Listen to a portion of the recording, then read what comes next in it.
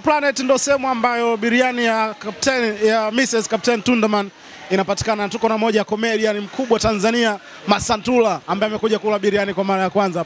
Eh bwana, mambo vipi? Eh bwana, poa sana. Shwari. Ah, kama upepo.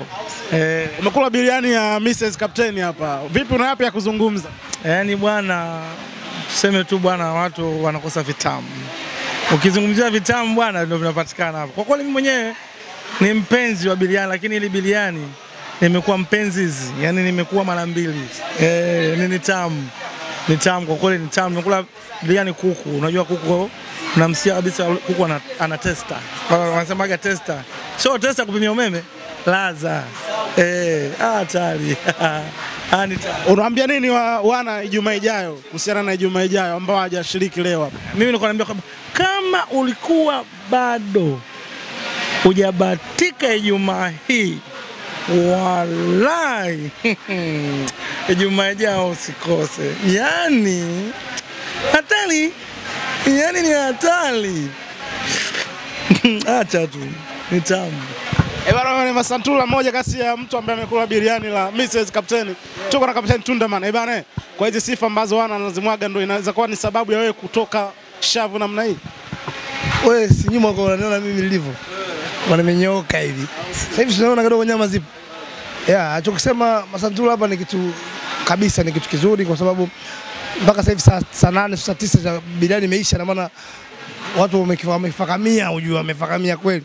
Kwa kitu kikubwa ni kwamba mimi waifu namwamini kwenye swala la mapishi huwaga hakosei, hajai kuunguza na siku moja. Si mkono umekosea? Ah, yeye hajai kukosea. Mkojani ame, amesema hapo kwamba pengine kuna mkono wako kwenye ile biriani, ni kweli? Kama mimi nimekata vitunguu kata vitunguu na kata- eh nimekata vitunguu nimsaidia saidia kwa sababu Zaga, ndio kuna kitu najiuzaga. kwani Tunda anang'ania hapa? Mbona na muda anang'ania huku, Kuna kuna nini? Kumbe kuna vitu. Maana kuna vitu vingine anakosewa lakini anaganda tu. Okay, kapteni, hii sio mara ya kwanza. Mwaka juzi, si mwaka jana, mlianzisha pale kwetu pazuri biriani, alafu baadaye tukaja tukala tukasifia, mkapotea. Yani mpaka leo ndo mnakuja tena kutu, kutu nani. Shida ilikuwa ni nini na mnatuaminisha nini kwa sasa hivi kwamba biriani itakuwa linapatikana kila Ijumaa?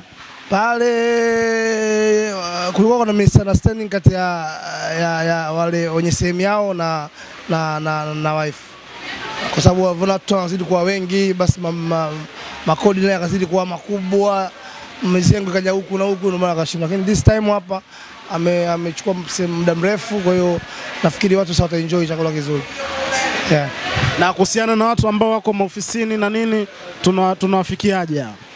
Oh, nafikiri katika mitandao tunarusha, anarusha mwenyewe mie namsaidia ku- kusapoti kwamba kuna namba za kuweka oda, unaweza kuweka oda oda yako 0683 67 52 62.